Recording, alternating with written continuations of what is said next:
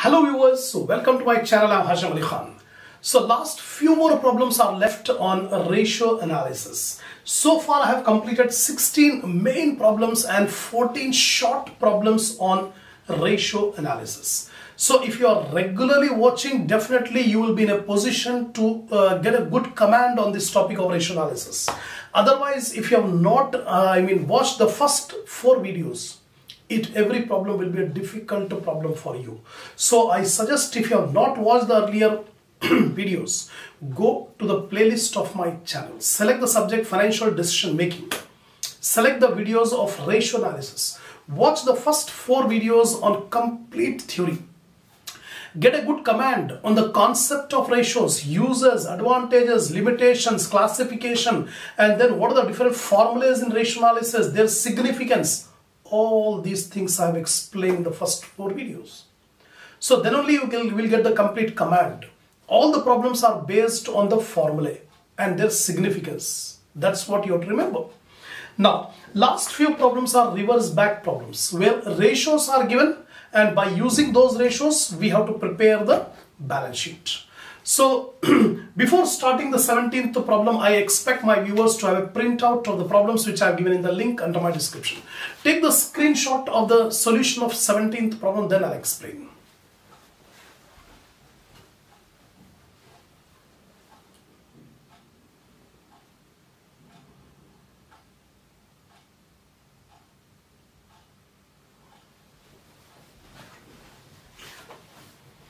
Come on, see the 17th one. From the following information, prepare the balance sheet with as many details as possible.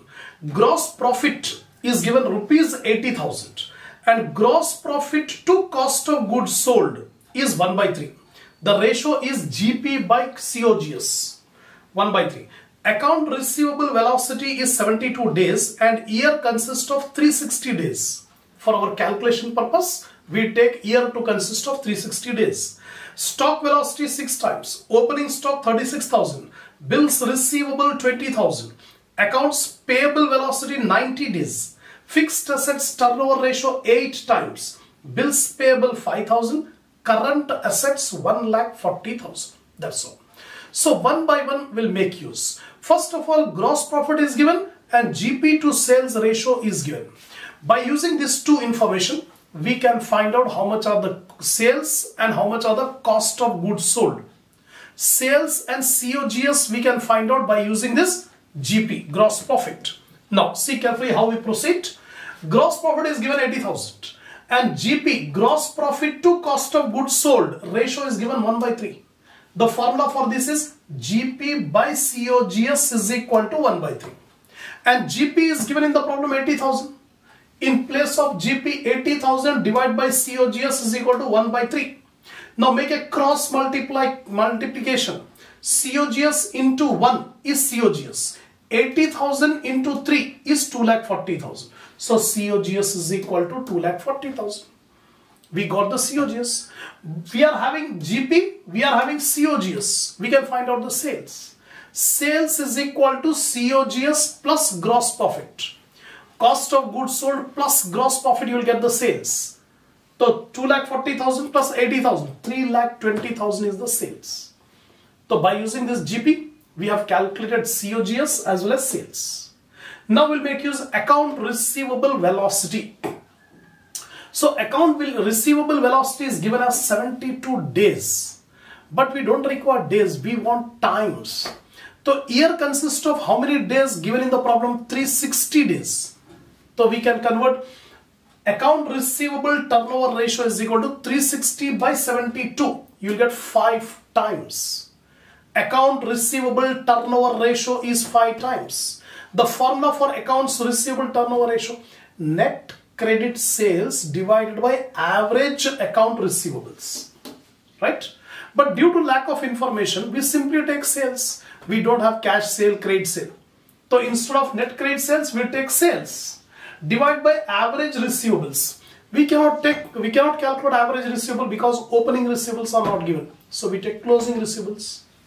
So account uh, sales are 3 lakh 20,000 divided by account receivable is equal to 5. Now cross multiply 5 AR is equal to 3 lakh 20,000. AR is equal to 320 by 5, you will get 64,000. The closing account receivable is 64,000. And one information is given, bills receivable. Remember in this formula, when we say account receivable, it should include bills receivable. Bills receivable are included in account receivable. So total account receivable 64,000 and bills receivable 20,000. The net account receivable is 44,000. But for balance sheet purpose, there is no need to segregate bills receivable. Bills receivable and account receivable combined together. So in balance sheet, we take account receivable 64,000, not 44,000. For your information, I am showing this. Stock velocity. The stock velocity is given 6 times the formula for stock turnover ratio COGS divided by average stock. COGS we have calculated 2,40,000. So 2,40,000 divided by average stock 6 cross multiplication 6 average stock is equal to 2,40,000. Average stock 240 by 6 40,000 average stock. But opening stock is given in the problem 36,000. So what is the formula for average stock? opening stock plus closing stock divided by 2. Average stock is equal to opening stock plus closing stock divided by 2. Average stock 40,000. Opening stock given in the problem 36,000. Closing stock we don't have Divide by 2. Now cross multiply 36,000 plus closing stock is equal to 40,000 into 2 80,000. Now closing stock is equal to 80,000 this plus will become minus 36. So closing stock we got 44,000. So, so far with the help of given information, we have calculated COGS, sales, account receivable and closing stock. The next ratio is accounts payable velocity. Accounts payable velocity is given 90 days, but we don't require days. We want in times. So how many days in a year? 360 days for our calculation given in the problem. So accounts payable turnover ratio is equal to 360 by 94 times. So what is the formula for accounts payable turnover ratio? Net credit purchases divided by average account payable. That is the formula. Simply lack of information. Instead of credit purchase, we take only purchase. And denominator average creditors we cannot calculate. So we'll take the closing accounts payable. Right? The purchases we don't have. By using this COGS, we can find out purchases. Just like the previous problem. COGS is equal to opening stock plus purchases minus closing stock. That is the formula for cost of goods sold. So here COGS 2,40,000, opening stock 36,000 already given in the problem plus purchases minus closing stock. Closing stock just now you have calculated 44,000. Now take the variables values on the left hand side and keep purchases on RHS. So 2 lakh 40,000 minus 36,000 plus 44,000 is equal to purchase. So purchase we got 2 lakh 48,000. Now we substitute purchases. In place of purchase 2 lakh 48,000 divided by closing accounts payable is equal to 4. Now cross multiply 4 accounts payable is equal to 2 lakh 48,000. So accounts payable 248 divided by 4 62,000. So total accounts payable is 62,000. But remember this accounts payable includes bills payable also. In the problem, bills payable is given. So, accounts payable, closing accounts payable 62,000 minus bills payable 5,000, accounts payable 57,000.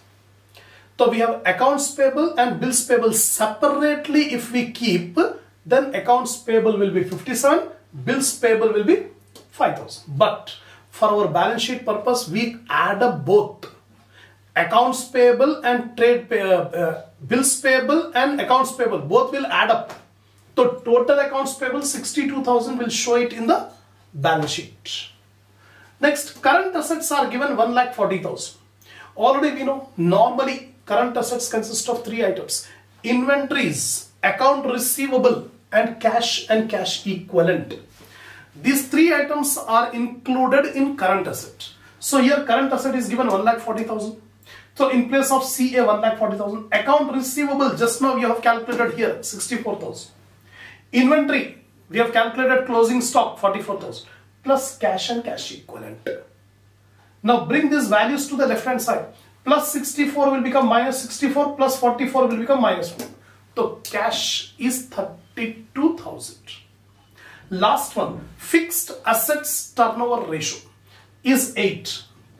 The formula is sales divided by fixed assets. Sales already we have calculated here 3 lakh 20,000. So 3 lakh 20,000 divided by FA is equal to 8. Cross multiply 8 FA 3 lakh 20, FA 320 by 8 40,000. Fixed asset 40,000. That's all. Whatever information is given in the problem, we have used the information, we have calculated all the values. Now we have to finally prepare the balance sheet. So this is the balance sheet. Equity and liability, shareholders fund, share capital.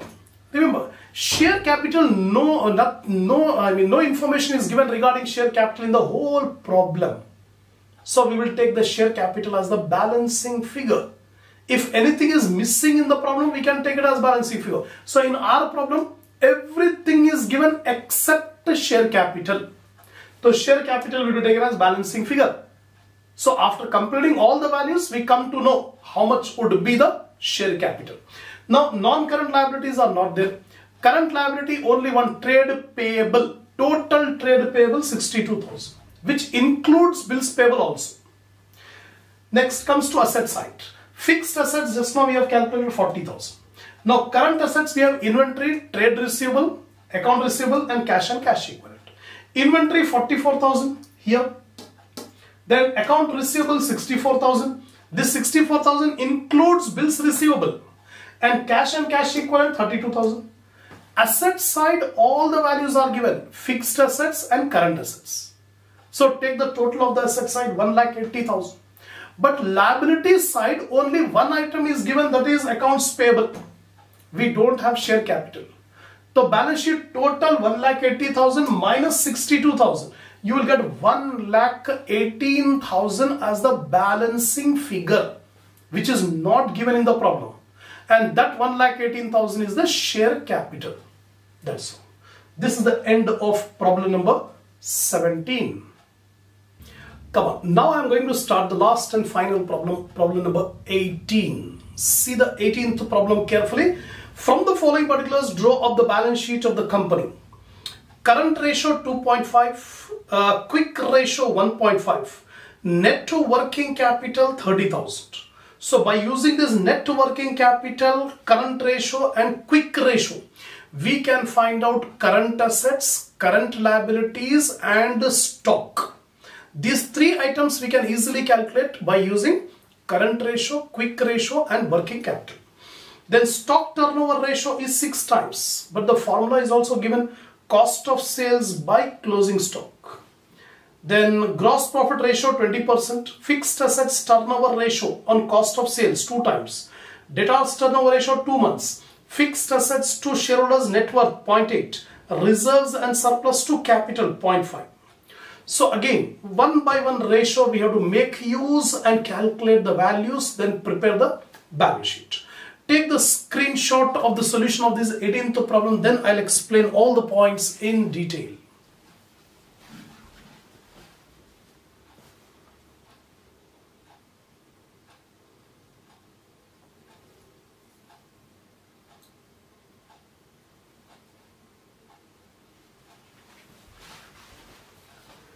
First of all, net working capital. The net working capital given in the problem 30,000. Then net working capital, the formula for working capital is CA minus CL, current asset minus current liability. So in place of working capital, CA minus CL is equal to 30,000. Keep CA on LHS and take the CL to RHS. So minus CL will become plus CL. So we got an equation current asset is equal to 30,000 plus current liabilities. We got an equation.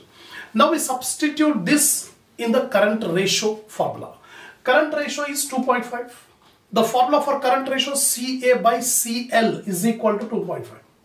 In place of CA, I can substitute 30,000 plus CL. Divide by CL is equal to 2.5. Now cross multiplication if I make 2.5 into CL is 2.5 CL. 30,000 plus CL into 1 is 30,000 plus CL. Now take this CL to LHS. So plus CL will become minus CL. So 2.5 CL minus CL is equal to 30,000. So 2.5 minus 1 because CL means 1 CL. So 2.5 minus 1 is 1.5 CL 30,000. CL is equal to 30,000 divided by 1.5. You will get 20,000 current liability. So one item we got. Now substitute the value of current liability in the equation. We'll get the current assets. CA is equal to 30,000 plus CL. CL we got 20,000. So 50,000 current asset. So we got the current liability, we got the current assets. Now next ratio is quick ratio. In the problem quick ratio is given 1.5. The formula for quick ratio, quick asset by current liability, QA by CL. CL already we got 20,000. So QA by 20,000, 1.5. Cross multiply QA is equal to 20,000 into 1.5, 30,000. We got the quick assets as 30,000. We know the formula for quick assets. Quick asset is equal to current asset minus stock minus prepaid expenses. We assume there are no prepaid expenses. So quick asset is equal to current asset minus stock. So quick asset already we got or else you take the stock to LHS minus stock will become plus stock. Right? So CA minus QA. Stock is equal to CA minus QA. So current asset we got 50,000 and quick asset we got 30,000. So 50 minus 30, 20,000 closing stock we got. So I told you by using the working capital, current ratio and quick ratio we can calculate current assets, current liability and stock. That's it. Next is stock turnover ratio is equal to 6 given in the problem. The formula for stock turnover ratio COGS divided by average stock. But we'll take the closing stock as mentioned in the problem. So COGS divided by stock, stock is 20,000. So COGS by 20,000 is equal to 6. Cross multiply COGS 20,000 into 6, 1 lakh 20,000. We got cost of goods sold 1 lakh 20,000. Next ratio given in the problem is gross profit ratio 20%. gross profit is 20% of sales. If the sales are 100, gross profit will be 20. I have put one equation. When sales are 100, gross profit will be 20. And sales minus gross profit, you will get COGS. COGS will be 80. 100 minus 20 is 80. So we got an equation. If sales are 100, GP is 20, COGS is 80. But what is our actual COGS? 1,20,000. When COGS is 1,20,000, how much would be the sales? So 1 lakh 20,000 divided by 80 into 100, 1 lakh 50,000. That's it.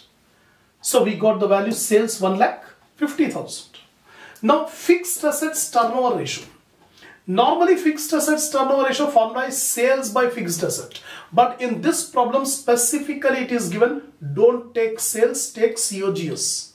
So I am taking COGS by fixed assets is equal to 2. COGS 1,20,000 divided by FA is equal to 2 cross multiply 2 FA is equal to 120 FA is equal to 60,000. We got fixed asset 60,000. Now debtors turnover ratio is 2 months. 2 months is given. But we want times. So how many months are there? 12 months in a year. So 12 divided by 2, 6 times. So debtors turnover ratio is 6 times. The formula for debtors turnover ratio net credit sales divided by average debtors. This is the original formula for debtors turnover ratio. But due to lack of information, simply we take sales by closing debtors. So sales by debtors is equal to 6. Sales how much we got? 1 lakh 50,000 divided by debtors is equal to 6. Now cross multiply 6 debtors 1 lakh 50 debtors 150 by 6 25,000. We got debtors account receivable is 25,000. Now fixed assets to shareholders net worth is 0.8 given in the problem. The formula is fixed assets divided by net worth. Shareholders net worth or simply you call it as net worth 0.8. Now fixed assets already we got it here 60,000. So 60,000 divided by net worth 0.8 cross multiply 0.8 net worth is equal to 60,000 net worth is equal to 60,000 divided by 0.8 75,000 we got net worth as 75,000. And remember net worth means share capital plus reserves and surplus. That is the meaning of the term net worth. The last and final ratio given in the problem is reserves and surplus to capital is 0.5. Reserves and surplus to capital is equal to 0.5. The formula will be reserves and surplus divided by capital because 2 capital is given is equal to 0.5. If I put by 1, nothing will happen. Now what do you observe from this one? If capital is 1, then reserves and surplus will be 0.5. if capital is 1, reserves and surplus will be 0.5. So let capital is equal to 1 rupee, reserves and surplus will be 0.5. The net worth will be 1.5 because net worth means share capital plus reserves and surplus. 1 rupee share capital, 50 paisa reserves and surplus. 1.5 is the net worth. So when net worth is 1.5, capital is 1 and reserves and surplus is 0.5 according to this information. What is our actual net worth? 75,000. When net worth is 75,000, how much would be the capital? How much is the reserves? So here 75,000 divided by 1.5 into 1 is equal to 50,000 capital. 75,000 divided by 1.5 into 0.5 you will get 25,000. This is the reserve. So we have bifurcated the net worth into share capital and reserves. Out of 75,000, 50,000 are share capital and 25,000 are reserves and surplus according to this ratio. That's it. So we have computed all. now we'll prepare the balance sheet. So balance sheet, equity and liability, shareholder fund, share capital, just now we have calculated 50,000. Our reserves and surplus, we have calculated 25,000. Long-term debt, we don't have long-term debt mentioned anywhere in the problem. But we'll keep it aside. If there is a balancing figure, we'll take it. Then current liability, only one is the trade payable, creditors. We have calculated creditors somewhere here. Creditors. Where the creditors we have calculated here? No. Current liability. Current liability we got. Here current liability 20000 nothing is mentioned regarding trade payable so whatever current liability is there that is assumed as trade payable or accounts payable so trade payable creditors 20000 current liability now come to asset side. Fixed assets. We have already calculated fixed assets uh, 60,000. Then current assets. Normally current assets will consist of three items. That is inventory, receivables and cash. In our problem, total current assets are 50,000. 50,000 current assets. How much is the inventory?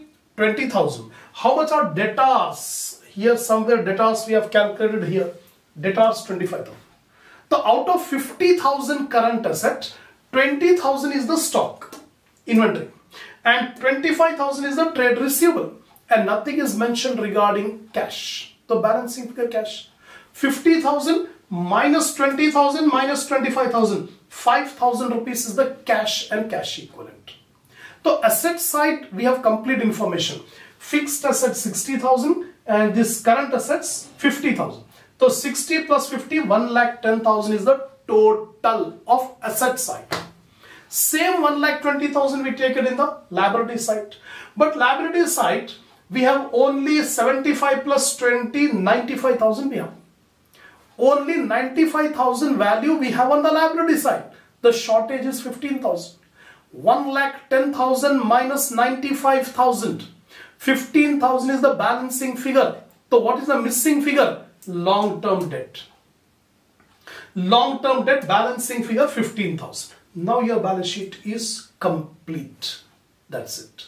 This is the 18th problem and the last and final problem. I have explained two more problems are there that you can do it as your practice. So totally 14 short problems and 18 main problems I have explained in detail regarding each and every ratio. Hope my regular viewers have already understood so many, I mean, ratios, formally what I have explained. I have put my 100% effort in explaining each and every point. So if you are satisfied with my lecture, give a like to the video, share my channel in your group, in your friend circle so that more students can watch the video and enhance the knowledge.